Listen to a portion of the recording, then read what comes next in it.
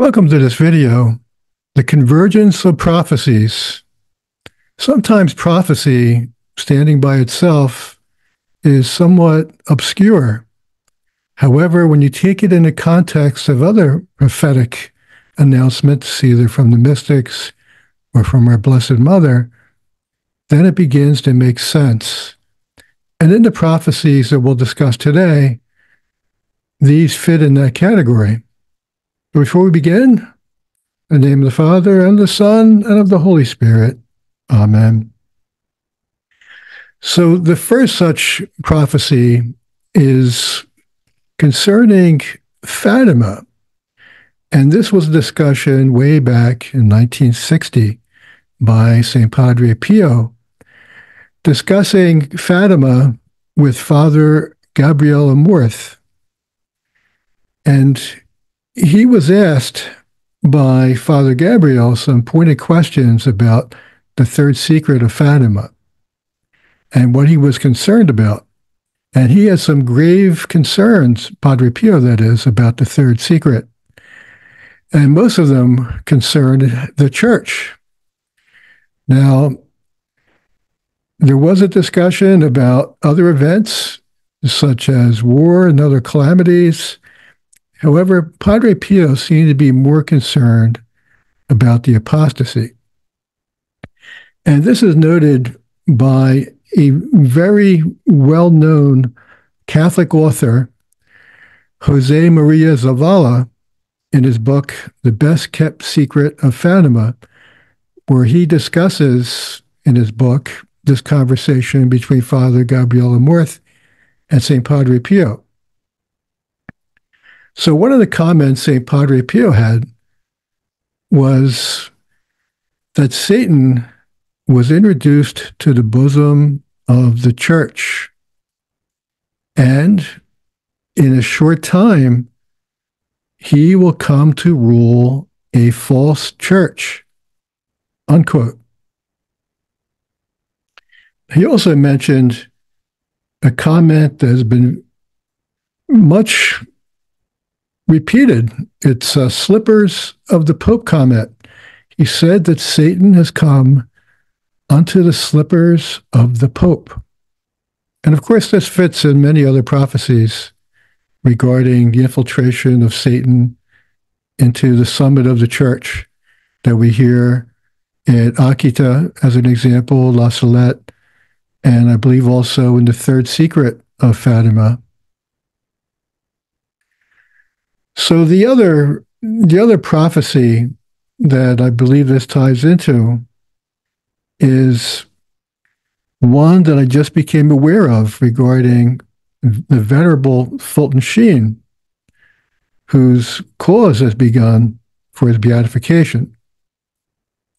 And this is a prophecy that I'll read. It comes from a sermon that he provided in 1948. He, and I quote, he, Satan, will set up a counter church, which will be the ape of the church, because he, the devil, is the ape of God. It will have all the notes and characteristics of the church, but in reverse and emptied of its divine content. It will be a mystical body of the Antichrist that will in all externals resemble the mystical body of Christ. And this you begin to see today. You begin to see this with a humanistic tone that prelates seem to be taking. Some people have commented that the church appears to want to be an NGO of the United Nations, and NGO being another non governmental organization.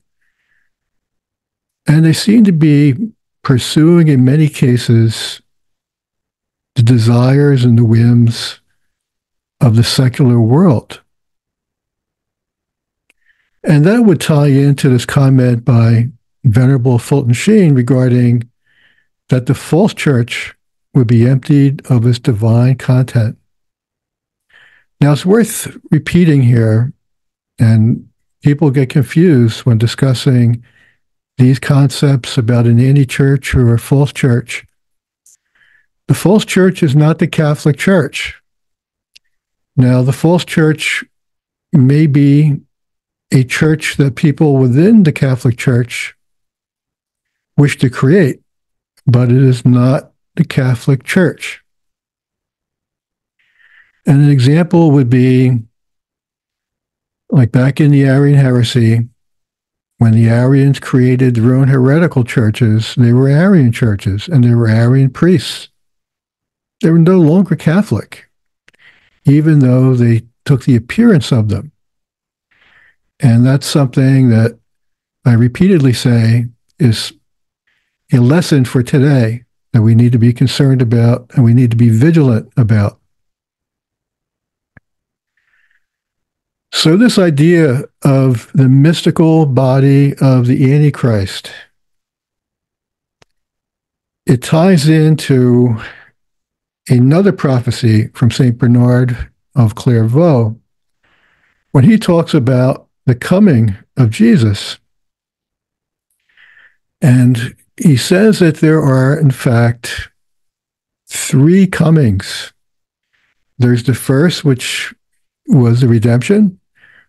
And then there is the last coming, which is the final coming.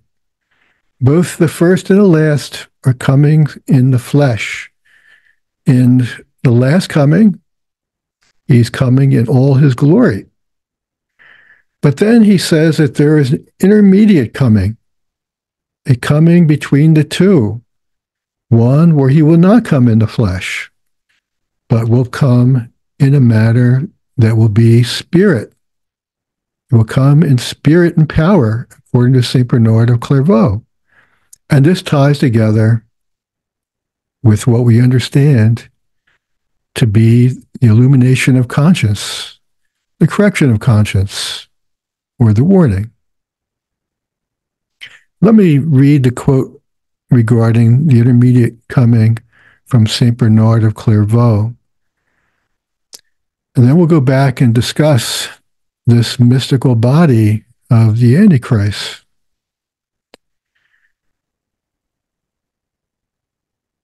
And this is from St. Bernard of Clairvaux, and I quote The intermediate coming is a hidden one in it, only the elect see the Lord within their own selves, and they are saved. In his first coming, our Lord came in our flesh and in our weaknesses. In the middle coming, he comes in spirit and in power. In the final coming, commonly known as the second coming, he will be seen in glory and majesty. So, in this intermediate coming, we understand that, as I mentioned, to be the prophetic event of the warning. So, when you put these together, what we're left with is we're left with the idea of this intermediate coming. Now, if there's an intermediate coming of Christ, then we can also understand the Antichrist as being a, a, coming of the Antichrist in spirit, just like Saint Bernard of Clairvaux said that our Lord would come in, in this intermediate coming in spirit and power. And tying that together, which with uh, Venerable Fulton Sheen's prophecy regarding the mystical body of the Antichrist, what that means is that the coming of the Antichrist is the mystical body of the Antichrist, the false church. Just like the body of Christ is his true church, this false church will be the mystical body of the Antichrist. And that ties also together with some statements made by Pope Benedict XVI. when he said things like, the spirit of the Antichrist is growing. So, this spirit that we're talking about, it's already prevalent. It also has a relationship to the 100 year prophecy from Pope Leo XIII regarding the 100 years of power given to Satan to persecute the church, to try the church. And the church, indeed, this time is walking through its Calvary. We find ourselves today, because of this idea of the false church and those who are clamoring for it, they are causing a schism within the church, within the body of Christ. It's equivalent to the crucifixion, the breaking of the body, breaking of the body of Christ. And we are finding ourselves in the final stages of these events.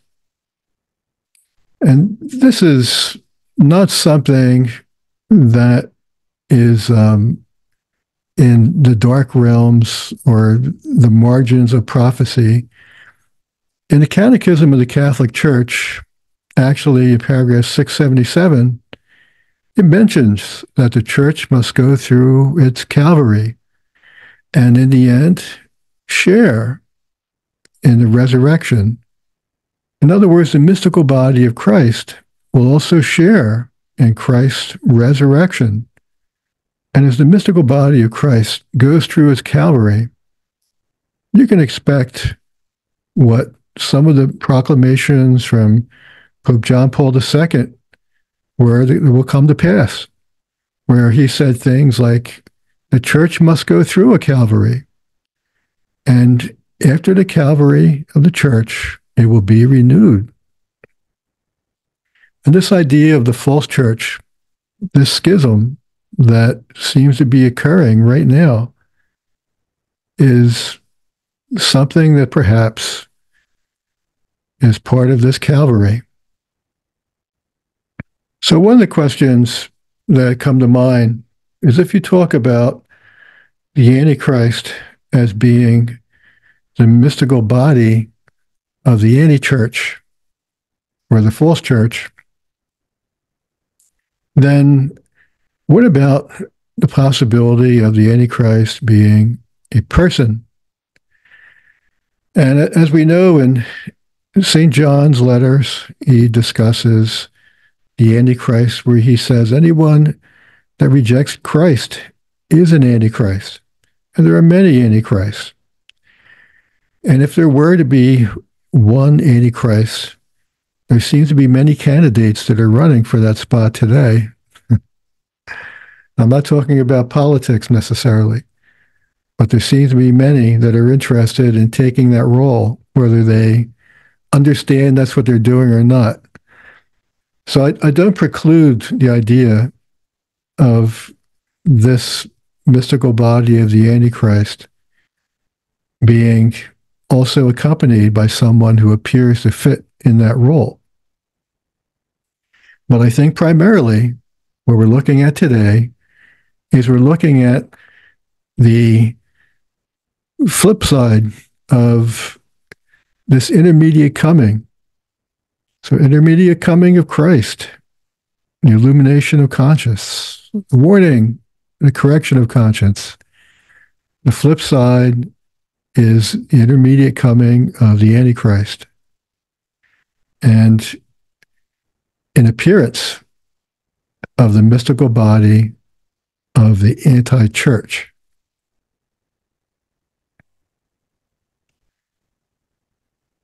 I hope you found this interesting. And please feel free to look up some of these quotes. I mentioned the quote by St. Padre Pio, and that appears in Jose Maria Zavala's book, The Best Kept Secret of Fatima. The other quotes that I mentioned can easily find via Google. I hope you found this interesting, and God bless.